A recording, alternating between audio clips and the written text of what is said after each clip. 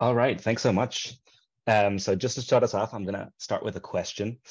Um, who would say Australia is an island? Could you just add an emoji, a reaction, whatever, raise your hand or uh, do a thumbs up?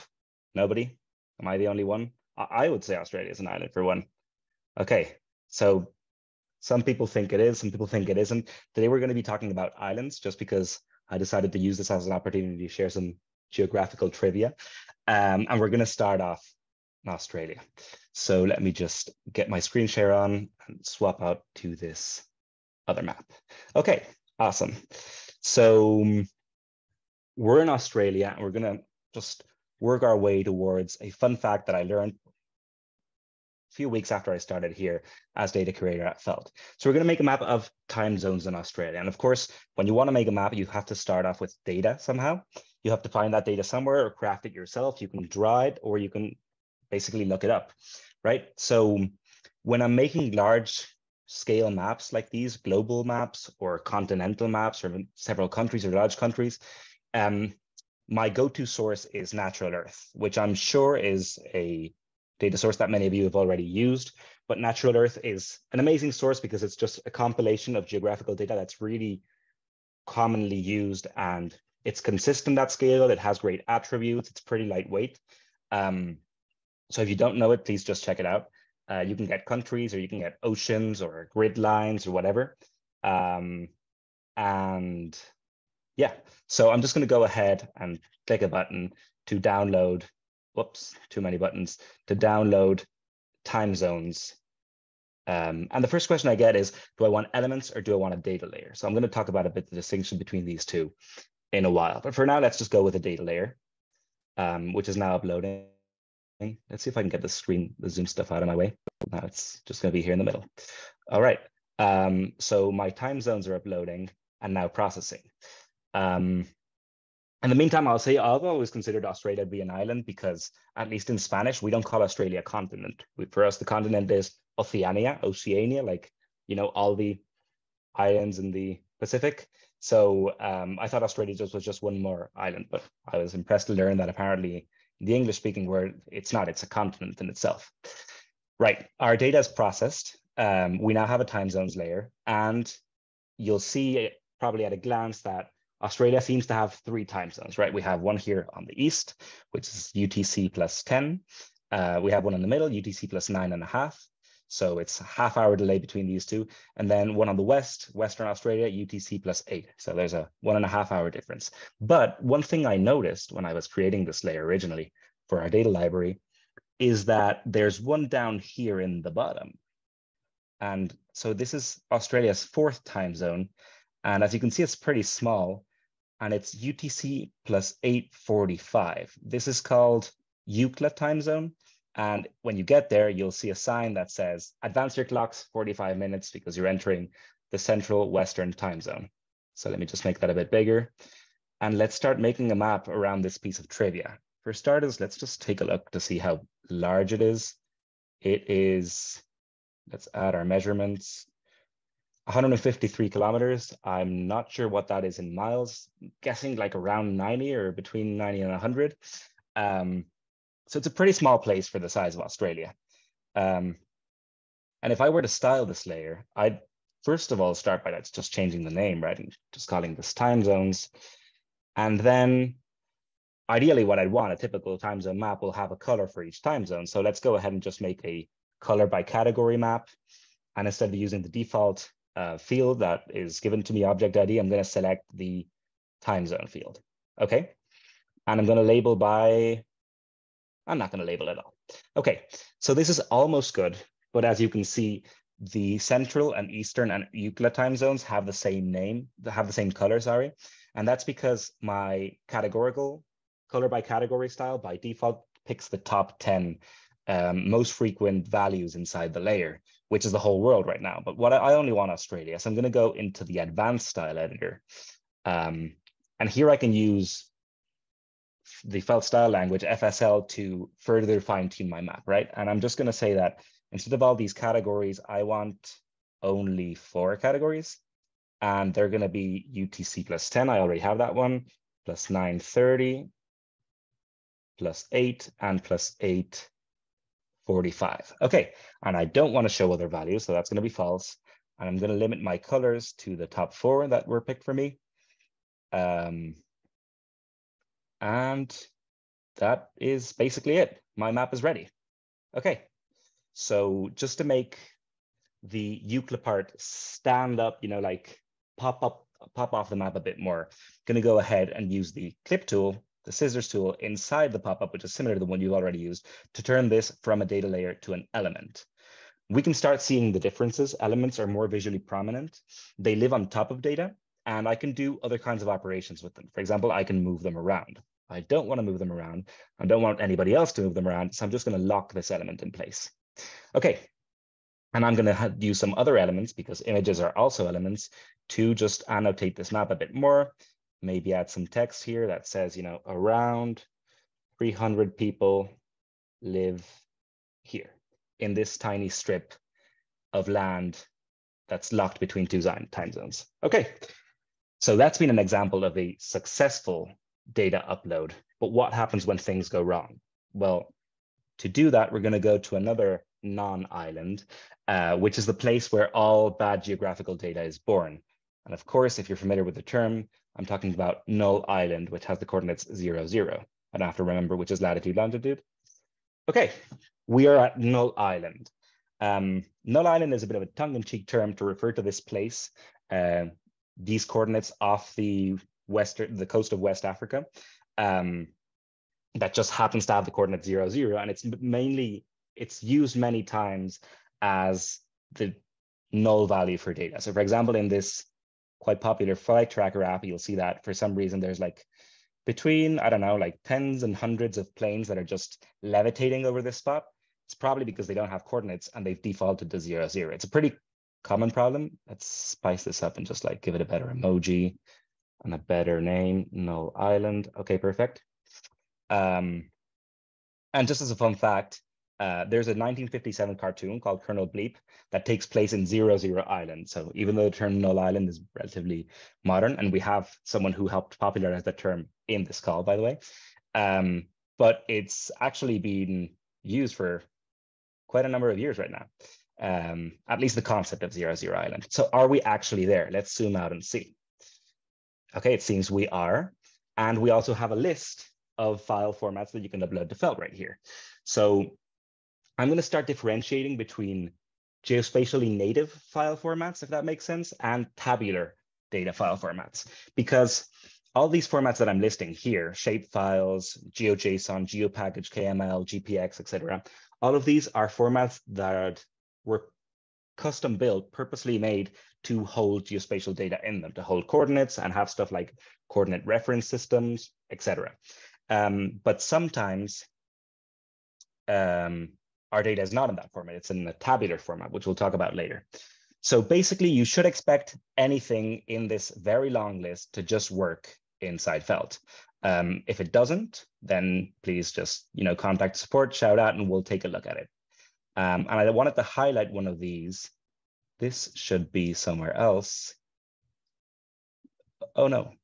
Oh, I had a little surprise here, but forgot to put it in place.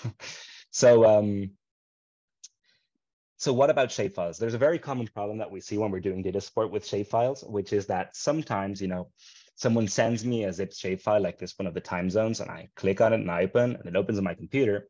And then my, my Mac is automatically unzipping this file. And so I, I see a bunch of files inside it. And I'm like, well, I wonder which is the shape file. So this one's called .shp. That sounds like a shapefile. Um, here it says Esri shape documents. I'm just going to drag that in. And if you've ever done this in any other software, you probably will just get an error. Fortunately, Felt tries to at least guide you in the right direction by explaining that a shapefile is made of several files and they have to be packed together. Okay, that's great. Um, and by the way, this problem is so common. Here's the surprise that was unveiled by accident that there is a very common GIF uh, or GIF, no, sorry, a very common meme um, in the geospatial world about shapefiles, right? Because it's very common, send me the shapefile, I only send the SHP, and then it just won't work anywhere else. So what about tabular data? Well, to explore tabular data, um, I thought it'd be fun to place a little discussion in the most tabular, most rectangular place on Earth. So I Googled what is the most rectangular country, and apparently there's an answer for that. There's a website called, or place that someone's explored the question, the rectangularness of countries. And the answer is Egypt. I'm not fully convinced, but why not? Uh, so let me just move that polygon out of the way. And since we're talking about islands, I'm going to go all the way into Gezira Island in Cairo. So we can talk about tabular data. So what is tabular data? Well, tabular data is data that is structured as rows and columns, for example, a spreadsheet. And it's normally distributed as either an Excel file, .xls, .xlsx, or a text file, plain text file that has this distinction by a common separator. These are normally called CSVs or TSVs or even TXTs. Um, we see a lot more issues when people are uploading these kinds of data into Felt because we have a series of expectations around them. So the first one is that coordinates have to be in latitude, longitude. There, of course, exist other coordinate reference systems, but if you upload a CSV with, say, co coordinates in meters of Web Mercator or in meters in UTM or in Lambert conical conformal, whatever, we're not going to be able to parse that because we're missing some information about how to bring that data into Felt. So we need coordinates to be in latitude, longitude, and we need them to be either a pair of numeric fields, say XY or lat long, latitude, longitude, uh, but it has to be a pair of fields. If this is all in one field, it won't work. Or a single field with the geometry in a format that is commonly used to express geometries as text. For example, WKT, well-known text, or hex-encoded well-known binary, if you're familiar with it, or GeoJSON. Um, here at the bottom is an example of a polygon expressed as well-known text. So that's one very common issue. Uh, another one is having having empty header rows. For some reason, some people like to start their spreadsheets. They don't like to start on the first row, so they start on some later row, and then that won't work. So for example, these three fields at the top, these empty header rows that don't contain the actual table of data, um, I'll have to remove those before I can bring this data into Felt. But by and large, the most typical problem is not actually an error. It's just that sometimes people bring in data into Felt expecting um, things to work because there is actually some geospatial information in them. So take, for example, this TXT that I've just dropped in a note. Um, it has many rows um, and it has two columns, right? One is a city name and the other is a URL. So some people drop this into Felt thinking, okay, well, my cities are going to turn get turned into cities on the map, or my countries, or my zip codes, or my whatever. Um, and we don't do this right now because this requires actually an additional step called geocoding, which is turning um, names of places into coordinates.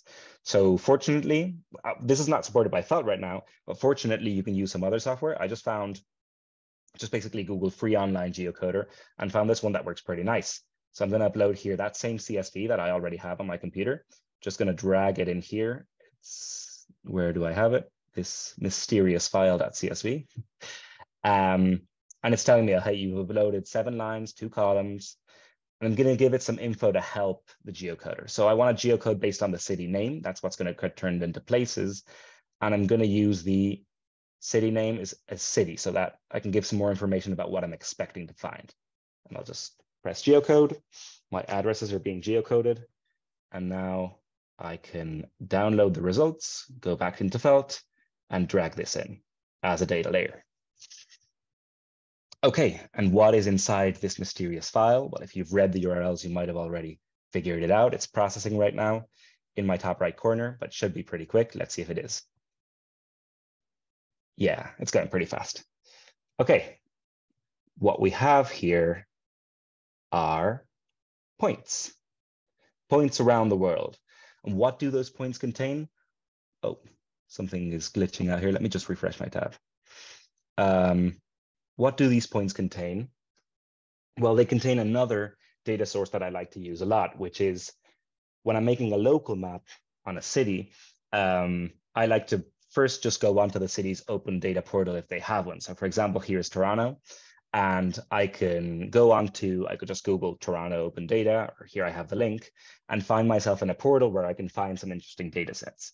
And my main tip, if you find yourself here, is that out of these 433, many of them are not going to work on your map. They might not have a geospatial component. This first one does seem to have one because you can get it as a GeoJSON, but sometimes they don't. So normally you have, see, for example, here. So normally you have some kind of format selector and you can just filter, for example, by shapefile, which is the most common, or GeoJSON or GeoPackage. Um, and here everything should directly work into felt. And I can bring in, for example, street furniture or COVID-19 testing sites or whatever I'm interested in making my map.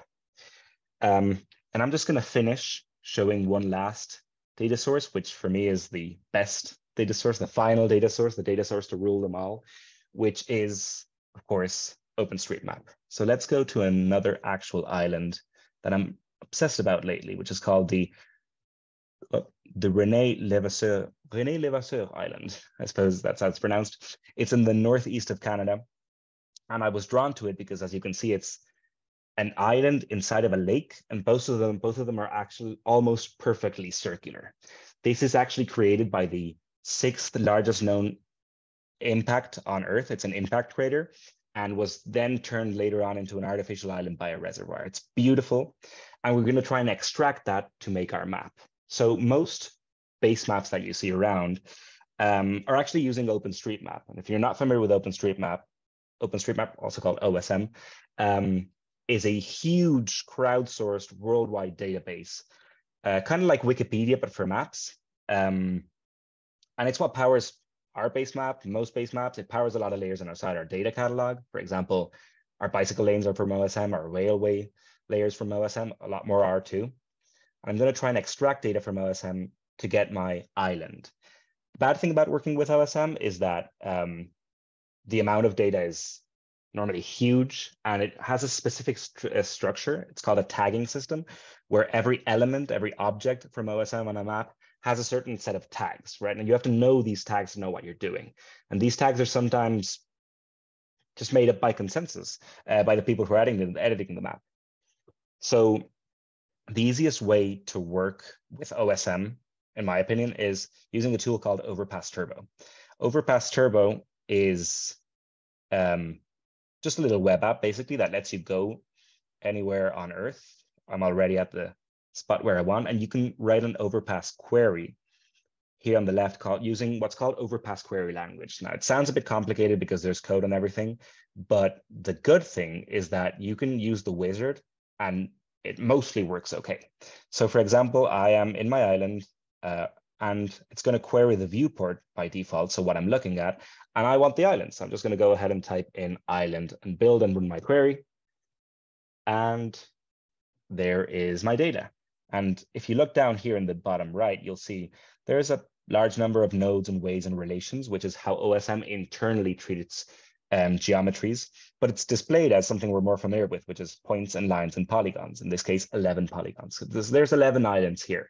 There's not only the one, there's even islands inside lakes, inside the island, inside the lake, which is pretty cool. So let's go ahead and download that. And I'm just gonna do the same. Well, I'm gonna upload it into Felt, drag it in. And in the meantime, I'm gonna do the same for the water, okay?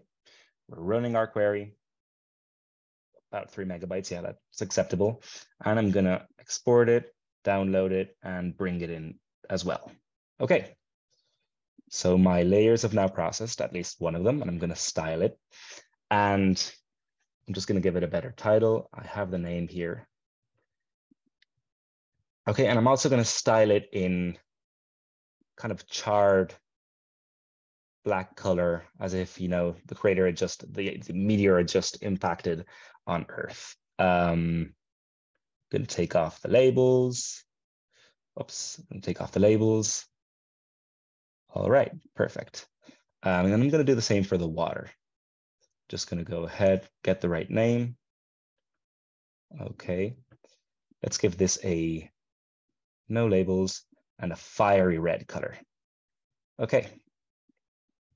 And now you can imagine that this was, you know, the impact of the meteor generating this crater full of, I don't know, fiery lava. I'm sure this, or magma, I'm sure this isn't how geology actually works, but I like to imagine it is just like rivers of fire.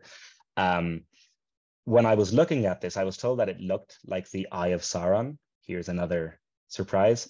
So if that is the case, I suppose this is actually the one data source to rule them all. Um, and that's all I have for you today. Thank you so much for listening to me. And if there are any questions, I think I'll be taking them in the final session with Rachel. Awesome. Awesome. Thank you so much, Alvaro. This was really impressive. Um, I hope it answered a lot of questions about um, common challenges people have uploading data into Felt. So uh, really impressive. Thank you. And um, now I really want to uh, go into our customer panel uh, where we're gonna look at different maps uh, folks created and um, learn their tips and tricks. Um, and I want to start our customer panel uh, with uh, William Petty, who um, worked on a survey of cycling conditions around Hackney, uh, a London neighborhood where uh, he resides. So uh, William, please take it away. Thank you, Anna. Hello, everybody. Thank you, Alvaro. Um, hopefully you're all looking at a map now of uh, Hackney, as Anna said, which is where I live in Northeast London. Um, I'm involved in uh, cycle campaigning there, so that's, that's what this, this map is going to be about and this presentation is going to be about. Um, so a little bit of background, um, Hackney's got really high levels of cycling. I think it's the highest anywhere in London, um, and it's almost the highest in the United Kingdom um, for various sort of historical reasons. Uh, we have a really sort of um, so, uh, sympathetic uh, local administration who wants to help us with that kind of stuff. Um, and we have a thriving sort of uh, community of campaigners here. Um, balanced against that, we don't have an awful lot of uh, sort of built infrastructure.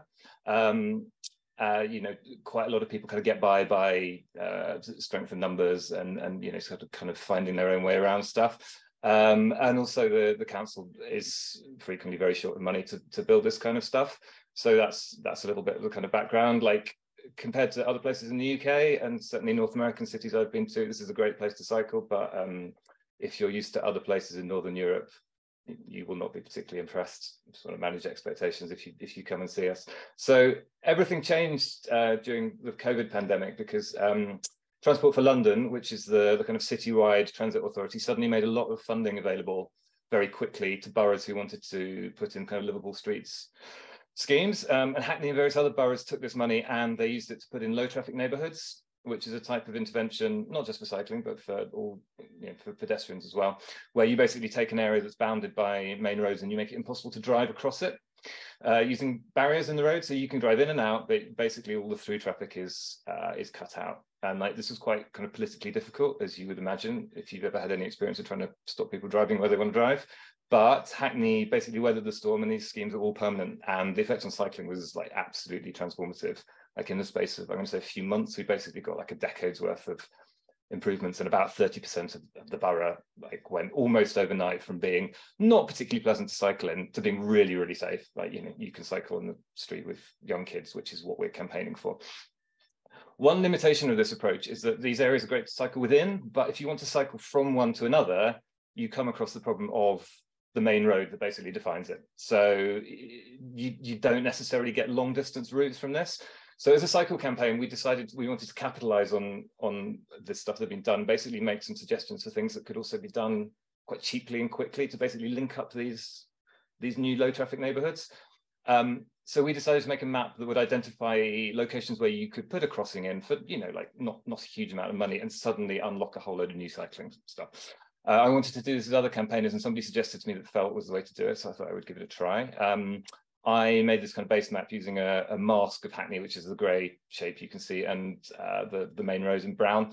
Sent this off to about 10 other people and asked them to start dropping pins on the map, um, which they did like, incredibly quickly. Like people took to this really, really well. It was very very I know some of them are on the call, guys.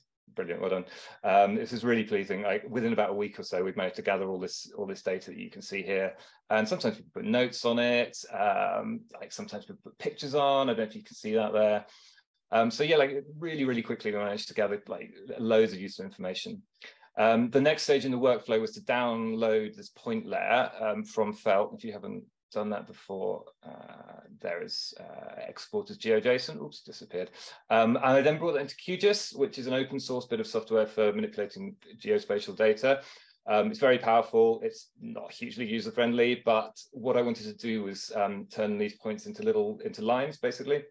So I wanted to extract from a layer of the existing road network that I got from OpenStreetMap to make uh, lines showing you not just where where these crossings were, but where they would go to and where they would go from. So I thought that was going to be much more useful. Uh, and the other thing we, I wanted to do in QGIS was basically use it to manipulate the data so that when I uploaded it again to Felt, it was going to be in the right, uh, you know, the structure of the data was going to give me the, the options to display it in the way I wanted to. So I'm just going to go to finish map now, and you can see that these points have become lines, um, pink ones for ones that we're proposing and green ones for ones that are already in existence. Um, and I think these lines are much more powerful in, in telling the story we want to tell, which is that you know you can join up these gateways to make routes basically cover the whole of whole of the borough. So there are a few other things that I've um, I wanted to add to this map as well. Um, those low traffic neighborhoods that I was telling you about, so that's a layer on there as well. Just going to turn that on. So these are the ones that were put in during COVID. You can see it's like a huge area and you can see, I hope, the way that these gateways will link up those areas to make uh, make that um, a much safer place to, for people to cycle long distances across the borough. Um, another one of our aims was about enabling um, kids to cycle to school. So I was pleased with this. This is one of the things in the styling options. If you zoom in, didn't want them to become available straight away. But if you zoom in, you can see the schools. And if you zoom in further, the names pop up on them as well, or they should do. There we go. Um, yes, yeah, so that was it. I'm almost out of time now. This is basically our finished map. Next stage is we're going to embed this on our website so we can share it with members of the public. Um, we also want to get it into the hands of like the local authorities who are actually doing this stuff so that hopefully next time they redesign a road, they can reference this map and go, ah, we could just put in a safe cycle crossing. We're doing the work anyway. So um, yeah, I think that's that's all I've got to tell you. I'm going to stop sharing. Uh, thanks very much for listening. Thank you so much, William. That was really uh, impressive. I'm sure a lot of people um, who are um, building communities around biking in their cities um, can take note and um, apply it in their in their neighborhood. Uh, well, and uh, next up we have Angelica, um, our winner of a Halloween mapping challenge, uh, who is also um, creating a lot of impressive maps for for November 30, uh, like a, a, mapping challenge in November as well. So she's gonna uh, show us uh, her map of um, of biggest pumpkins in the world. Uh, hi all, can you all hear me? Yes, yes. Awesome. Great. So I'm I'm Angie. I go by Angie and I live in Sacramento. I'm a hydrogeologist and I think about everyday like um, with water and groundwater management, how how can you um, show that to people and have people label their wells and where their wells are dry? And like how do you make that data interaction more transparent with people? And for that reason i thought that felt or interactive mapping in general would be a really cool thing to try out and so I wanted to start with something fun. So I made this pumpkin map for the challenge. And um, so the first thing um, I wanted to know is uh, where are the giant pumpkins? And there's a list of world record winners with uh, countries and provinces, but no specific locations. So that was my first challenge was to try and get some points on a map. And so I read articles about all these pumpkins to try and find out where, what city they were grown in more specifically, if I could find um, like what region, uh, what farm they were grown on. So that was really cool. And I was able to uh, find a lot of information online about that. And I linked to all the articles in each of the points. Uh, another thing that I did after that is I learned a lot about pumpkin growing history, which is just really wacky and fun. So I was able to include some anecdotes. Um, for example, there are some brothers uh, that participated, and they would constantly um, one up each other. Sometimes one brother would win, sometimes another would win. And so that was really cool. There what is a couple that is a giant pumpkin grower, and they have both won. So that was really cool. There's a daughter dad duo that have also participated. And so just fun stuff like that I wanted to add onto this map. So, and it kind of treated it as just a giant storyboard. And so I compiled everything in Excel and then I uploaded everything. So that's how I got the points. And yeah, so along the way, I learned some really cool things like pumpkin genetics. Um, so actually, if you zoom into these, uh, you can see that seeds from previous giant pumpkins are used in um, more recent winners. So here you can see that for the 28th giant pumpkin, uh, number 24 and 27 giant pumpkin seeds were used in the growth of that pumpkin, which is really cool. And so um, now I want to know, um, is this statistically significant? Um, for example, are these pumpkins giant because they've been bred to be giant or um, are they just a result of growing conditions. So that's something to look into in the future. And then also on this map, I wanted to incorporate this data in as many different forms as possible. So you have the spatial visualization, but also you have it um, as a list and then also as a chart. Let's see, did I miss anything? Oh, and finally, for the final effect of like kind of general spookiness, I wanted to import um, these transparent PNGs I got these from the internet, but these clouds I actually made in Illustrator.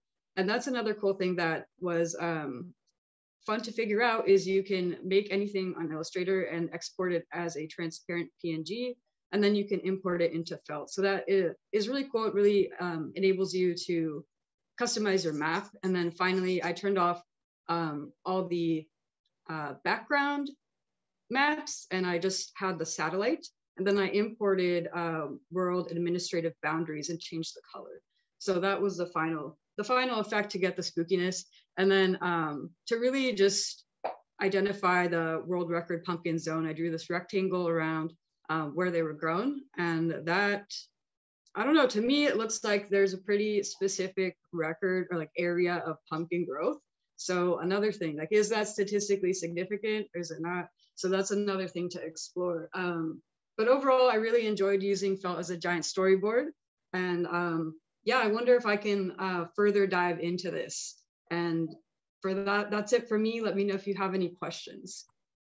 Thank you so much, Angie. This is um, this is really impressive. Me and uh, Rachel also uh, started looking into the stories of all this uh, giant pumpkin growth and it's a fascinating world and a very competitive world. Um, well, uh, next up we have uh, Chris, who is a USA Today developer, and uh, he's going to show us um, how he uses Felt for um, telling stories uh, and um, reporting on current events. Chris. oh, and um, can you please stop sharing the screen?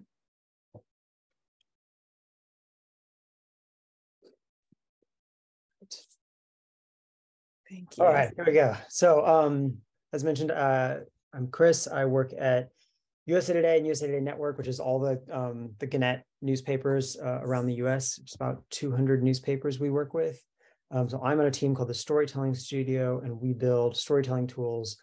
Um, and I'll show you a couple of stories that we've um, helped produce.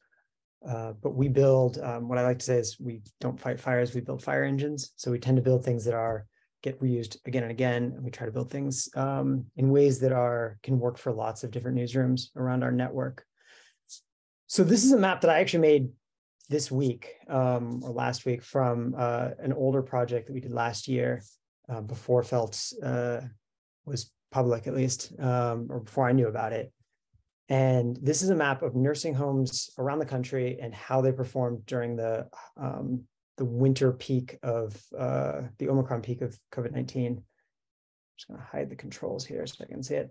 Um, this is a data set that came out of an investigation um, that my colleagues did, uh, and particularly uh, Jayme Fraser, uh, who's the, the main reporter on this and who wrangled a lot of this data um, and dealt with CMS and um, cleaned it up and came up with this rating system um, based on how many infections or deaths or um, there's actually grades for every uh, individual sort of facet that you can measure. Um, and it's a really fascinating data set. And in the course of this, uh, a couple of the reporters who were working on this had um, members of their family that were in nursing homes that they needed to use this data to check, like, is this a safe place to put someone I care about? Um, so I, I make a lot of maps.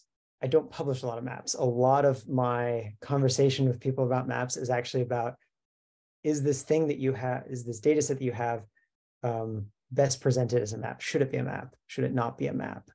Um, and this is one of those that we spent a long time debating. Um, should it be a map? Should it be a table? Should it be a database? Um, and one of the fastest ways to answer that question is to just make a map real quick and say, does this, can you tell a story out of this? Does this um, actually tell the story we want to tell? And looking at this, I would actually say, no, this is not, this is probably not, the map is not the interesting thing about this or the important thing about this, except in the degree of you need to know where um, a particular place is. Uh, and so when I look at this, what I see is that there's just a whole distribution of places that are good and bad. Um, I made purple good and orange bad. Um, but I was able to make this in about 20 minutes, most of which was just futzing with colors. Um, so that was cool. Um, I did not have this tool available at the time, um, but I have my own stack that I've mostly been using um, to quickly sketch out maps. Um, but this is one of the things that has come up a lot in talking to reporters is if you have a data set that is geographic, can you just very quickly see what does it look like? Um, could we map this? Could we, um, if we do map it, what story does it tell? Um, and so for us, what we realize is that the important thing um, with this data set is seeing um, what place, how places are rated, and then where are they in relation to each other? Where are they in relation to you? Because um, you are the sort of data point that is not on here. Um, so I'll show you what we ended up making. Um, was this this lookup, um, which I'll, I'll, there's a link to it in this map, and I'll put it in the chat. Um, but this is this will allow you to sort through um, all of the nursing homes that we've rated, see all of the ratings that we gave them, um, you can search your location or search by a name. You can filter by grade. There's a lot of stuff in here. It's it's a really fantastic data set. And if you want to play with it, there's a link right here to download the data. That's what I did. I I took the publicly available data and I put it into here. Um, this is the actual story, um, which is also linked in here. Um, but that's that's one of the things that I think has been really useful to me is actually using uh, ironically felt as a way to decide what maps not to make. Um, to say, looking at this, showing a, a nationwide map of where all nursing homes are doesn't really tell the story we want to tell. What we need to do is get you to here um, and say, if I'm here, these are the places that I am comfortable sending someone to maybe not this, maybe not these ones or these ones or something else. And there's there's actually several um, metrics that we can measure by. So that's the other thing. Um,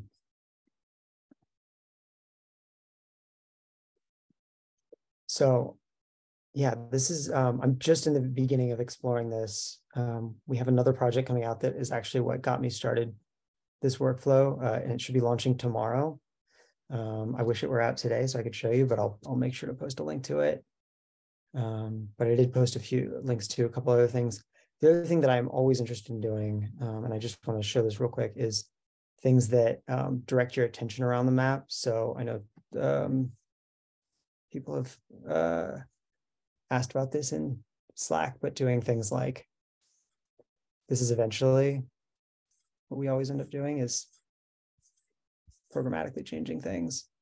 Um, and so I have a tool called Ulysses that, that I use for that. Um, but anyway, those are all linked in here. Trying to think what else I was going to tell you about it. Anyway, this is this has been really fun to just play with and use as sort of a sketch pad.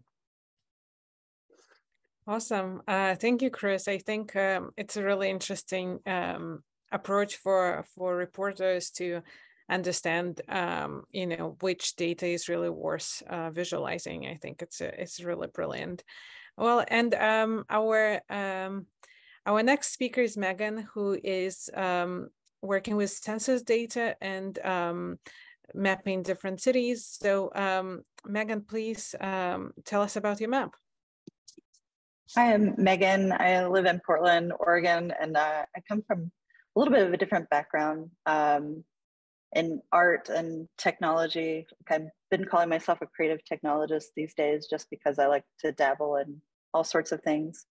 And I currently work kind of in a fabrication and uh, creative technology lab in an art college at uh, the Pacific Northwest College of Art. Um, but I've always been interested in telling stories with data or trying to learn that. Um, I've mostly got my start in uh, music visualization, like doing live video for musicians for shows. And it's sort of like, oh, okay, we're all using data in different ways, like how you express feelings and information. Um, but uh, I wanted to get into uh, web development. And so I started volunteering with a local group called Hack Oregon, um, trying to use uh, open and public data and understand the city and communicate information. And so in my process, I was learning how to use um, Leaflet and QGIS and making web maps. Um, and then when I saw that Felt could uh, take all sorts of data in, I got excited and I was like, oh, I'm going to recreate what I did in uh, Leaflet, but in Felt. Um, so these uh, coordinates are just the neighborhoods of Portland, um, and the dots are actually uh, public demolition permits that were issued over time. Um, I sort of decided to start exploring what public data was available and what this meant in comparison to city and demographics. And uh, so the there's lots of points of course but if you start clicking on the neighborhoods in QGIS I sort of mapped things out um, knowing a little bit about neighborhood demographics just casually I was like wow this Lents area which is a little bit poorer neighborhood uh, has 190 demoli- uh, demolition permits and then the most was this Brentwood Darlington neighborhood with 221. And uh, while I'm not, you know, it's a little obvious that, like, okay, well, maybe they're tearing these uh, houses in poor neighborhoods down for gentrification. Um, Portland has a history of redlining, things like that. Um, so then I sort of added the uh, census block groups. If I turn those on, you can sort of click and see um, the demographics of the area because during our time at Hack Oregon, we sort of like found that whatever services and data that were available, if you sort of put them in relation to neighborhood and the demographics of those neighborhoods, hopefully you could find um, different issues or stories that come about. Um, and as I was looking through this, this is mostly just practice as I get better. So I was like super excited how easy felt was because as I was learning how to do this and leaflet and QGIS, you know, it's quite a bit harder. Um, and when I was poking around, just sort of revisiting this map, I saw this uh, persons below poverty line map and it sort of also fits within the uh, demolition map areas. Like these are all just correlations, so I can't say story to story, like what causes what, but it's just an interesting way to start exploring and learning about the city. Um, working in an art college, it seems like I wouldn't use something like this, but I'm actually excited to use felt as a way to uh, work with our collaborative design and uh, systems design graduate students, maybe um, they're interested in data visualization and research. And so we can use this so that I don't have to uh, make them learn how to do coding from scratch and we can do exploratory um, information analysis this way. Awesome. Thank you so much, Megan. Um, well, uh, and now we have around 12 minutes for a Q&A session. Uh, Rachel, um, would you like to um, take a look at our questions?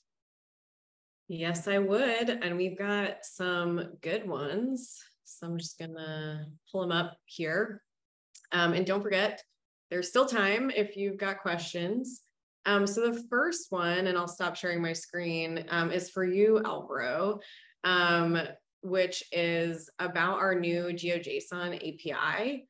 Um, can you, and this is from Chris uh, Amico. So is it, wait, who, no, who asked this question?